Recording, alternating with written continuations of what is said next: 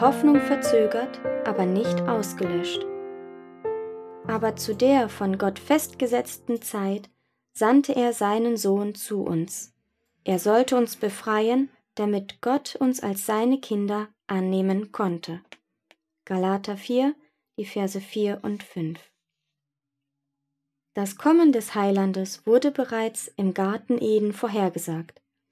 Als Adam und Eva zum ersten Mal die Verheißung hörten, warteten sie auf ihre rasche Erfüllung.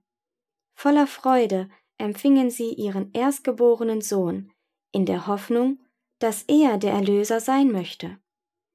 Doch die Erfüllung dieser Verheißung ließ auf sich warten. Jene, die sie zuerst empfingen, starben, ohne erlebt zu haben, dass sie sich erfüllt hätte. Von den Tagen Henochs an wurde diese Verheißung durch Patriarchen und Propheten weitergegeben und die Hoffnung auf seine Erscheinung am Leben erhalten, und dennoch kam er nicht.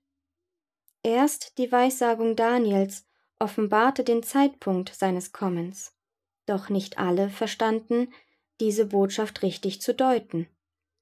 Die Hand der Unterdrücker lastete schwer auf Israel, und viele sprachen nun, es dauert so lange, und es wird nichts aus der Weissagung. Wie die Gestirne unbeirrbar ihre ewigen Bahnen ziehen, so erfüllen sich auch die Absichten Gottes. Vor langer Zeit hatte der Herr durch die Symbolik einer großen Finsternis und eines rauchenden Ofens Abraham die Knechtschaft Israels in Ägypten kundgetan und dabei seinem Diener erklärt, dass ihr Aufenthalt dort vierhundert Jahre währen würde. Danach aber sollten sie ausziehen mit großem Gut. Das stolze Reich der Pharaonen bekämpfte leidenschaftlich diese Verheißung Gottes.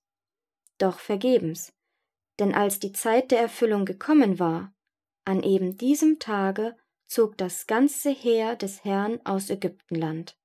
Mit der gleichen Sicherheit war im Rate Gottes auch die Zeit des ersten Advents Christi bestimmt worden. Als die Weltenuhr diese Stunde anzeigte, wurde Jesus in Bethlehem geboren. Als die Zeit erfüllt war, sandte Gott seinen Sohn.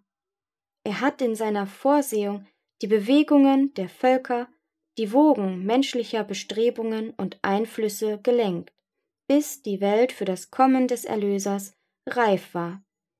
Damals waren die Völker unter einer Herrschaft vereinigt, Sie redeten allgemein eine Sprache, nämlich Griechisch, die auch überall als Schriftsprache galt.